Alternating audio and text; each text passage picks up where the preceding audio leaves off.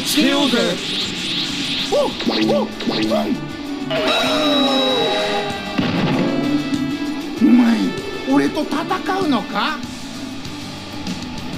Are you ready? Let's go! Counter!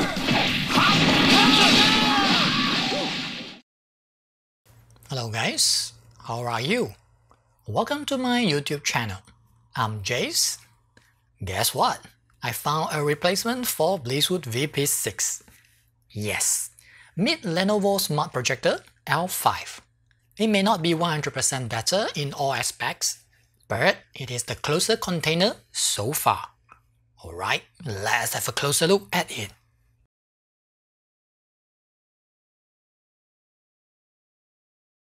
By the way, Banggood Double 12 Sales Festival starts now. Free shipping, more than 60% off and a lot of goodie for you and me. Be sure to go to Banggood website to find out more.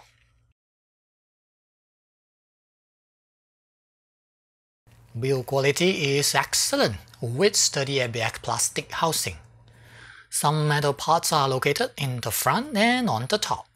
Stylish in design as you can see. There is a multi-layer coated glass lens and IR receiver located in the front.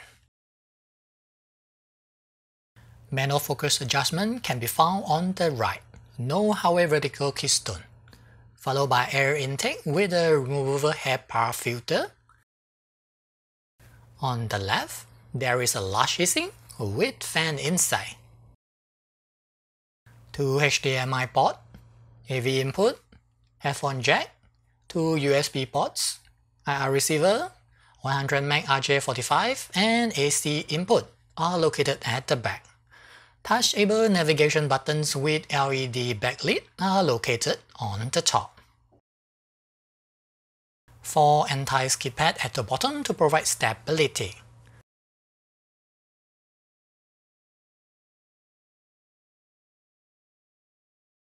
They also act as mount hole for ceiling mount after removing the rubber pad. Lastly, this is the mini stand that lets you adjust viewing height. Here are the included accessories. A handy infrared remote control for navigation. HDMI cable for video connection. Power cord with EU plug. No worries, you can change it easily. Finally, a useful and detailed user manual. As usual, take your time to go through it.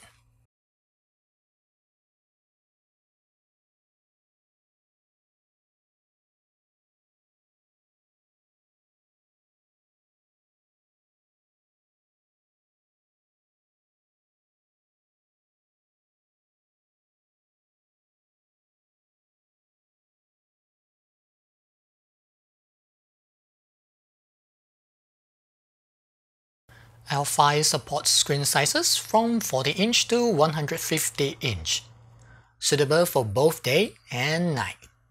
As usual, the smaller the screen, the brighter you will get. 70 inch is the best during the day.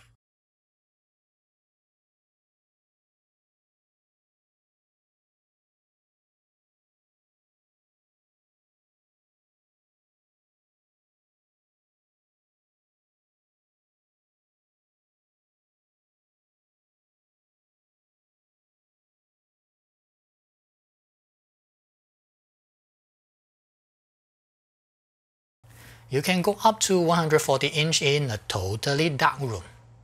Every day is movie night then. You can't get this kind of experience with the smaller TV.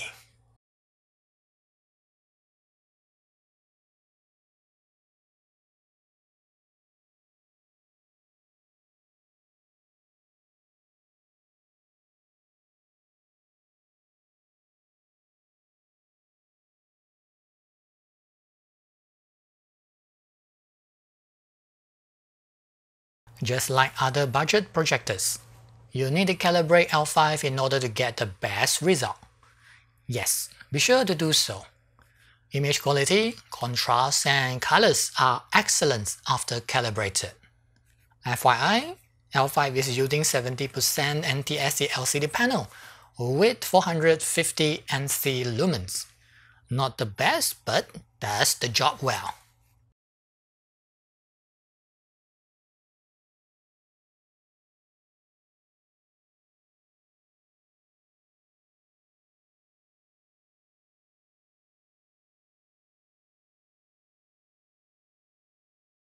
Text performance is outstanding. You can present PowerPoint to your group member during the work. Good enough for daylight usage as long as below 70 inch screen size.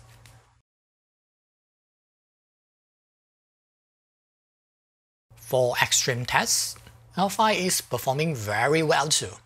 Corners are sharp and in focus. One of the best budget projectors for sure.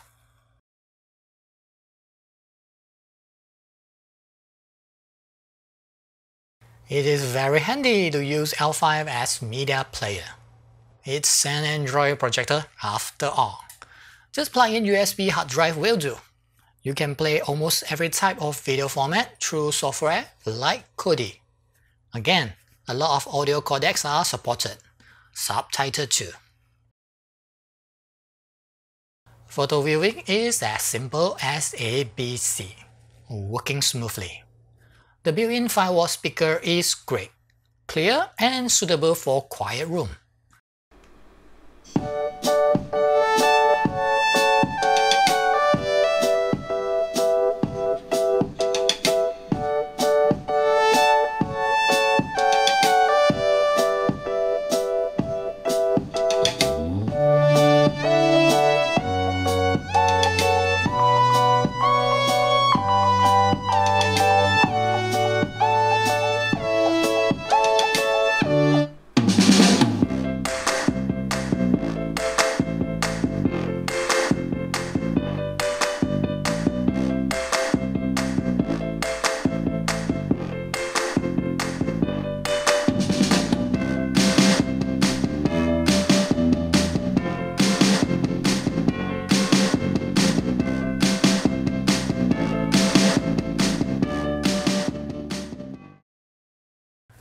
Lastly, the fan noise level is great. You won't hear fan noise during music or movie playback. Full HD resolution input with SDR support, and a lot of refresh rate for you and me. Video playback performance is about the same between HDMI and Android OS. 24Hz is great and smooth. Both 50Hz and 60Hz has perfectly smooth playback. For Android, 60Hz has frame skip due to the decoder.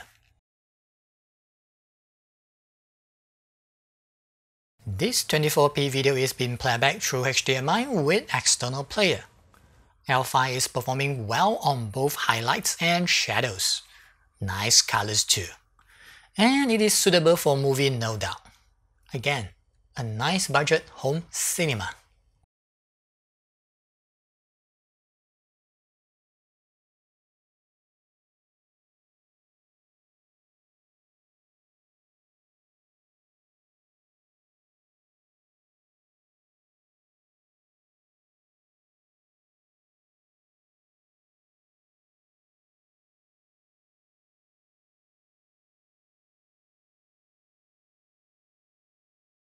Outstanding performance in this 4K 60p video.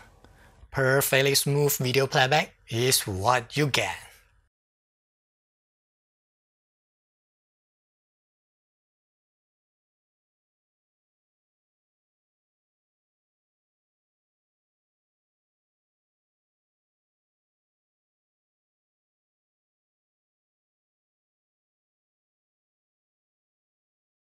Fifty Hz is performing excellently as well. Perfect for power reasons contains for sure.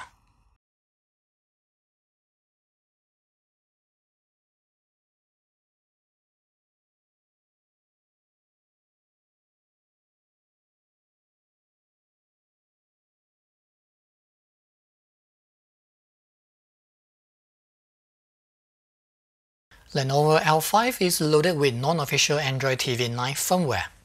using a simple custom launcher instead of the officially one. It is powered by Huawei HiSilicon chipset. 1 gig of RAM and 8 gig of storage are good enough for daily usage. As usual, you can install the application that you need from Google Play Store.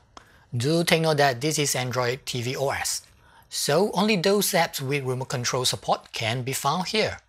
The same apply to games.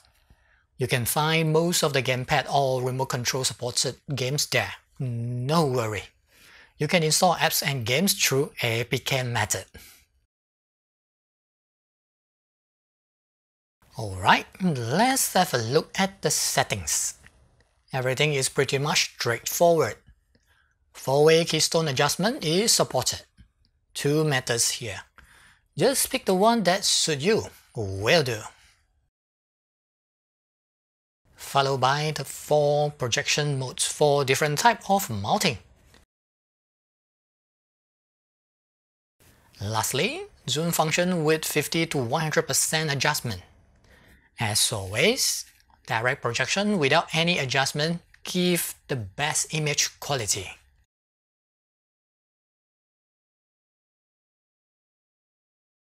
Multiple languages are supported. English for me as usual.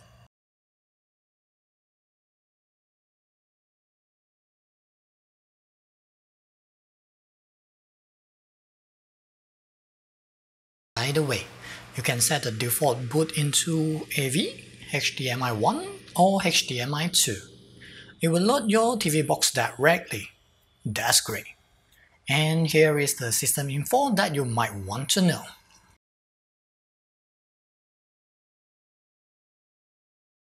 Advanced display and audio settings can be found in both HDMI and Android OS. Press the menu button to bring it out. For picture mode, there are standard, dynamic, soft, vivid, and user. As usual, these are my values for this review. Color temperature has cool, normal, and warm. FYI, HiSilicon chipset supports HDR. However, it is not enabled on the current firmware.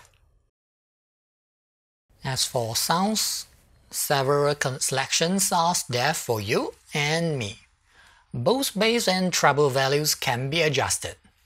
HDMI CEC is working, however ARC does not. Firmware update is needed here too. By the way, here are my display value for Android OS.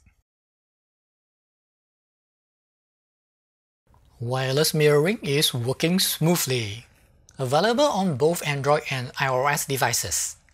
Yes, you can share photos and even watch videos on L5 easily.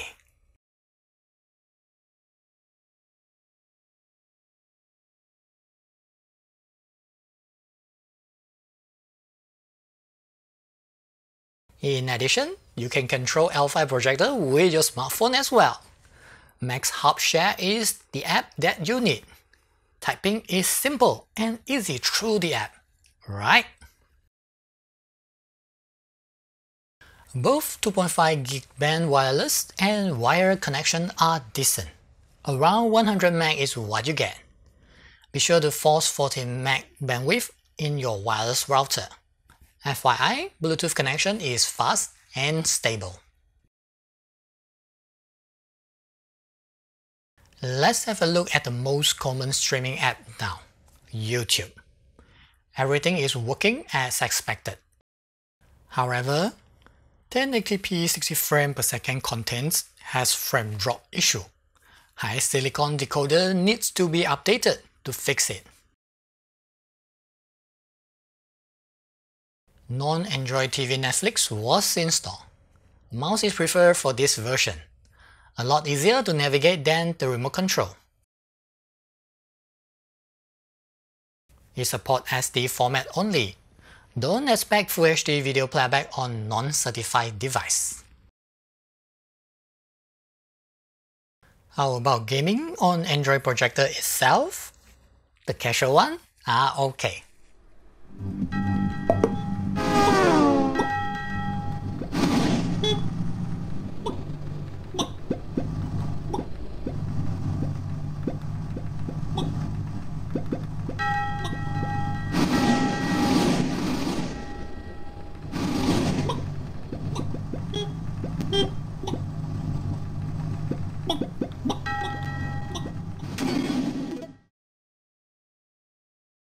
Lenovo L5 passed the input lag test with this. 39 millisecond response time is what you get. Not the fastest out there, but you won't notice this on casual game. As usual, Pinball is used to test projector gaming ability. Perfectly smooth on the Nintendo Switch game console, and fast response too. It's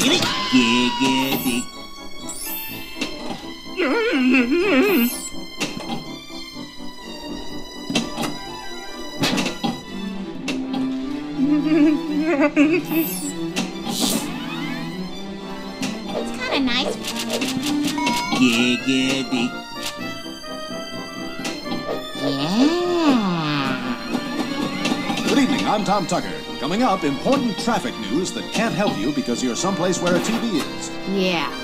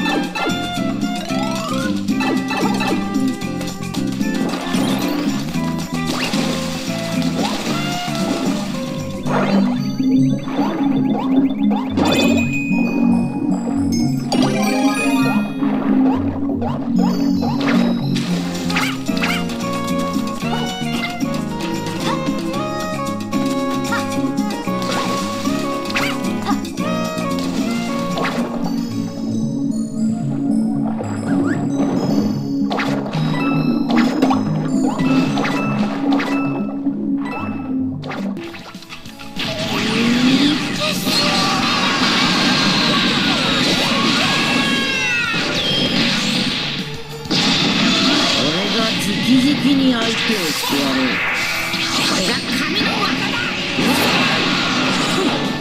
の怒りを味わえ。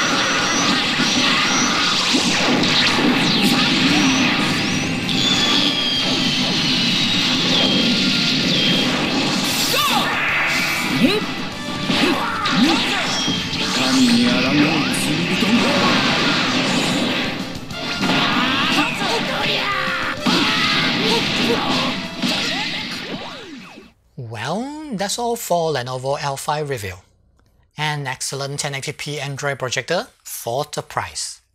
It has outstanding image quality and nice colors.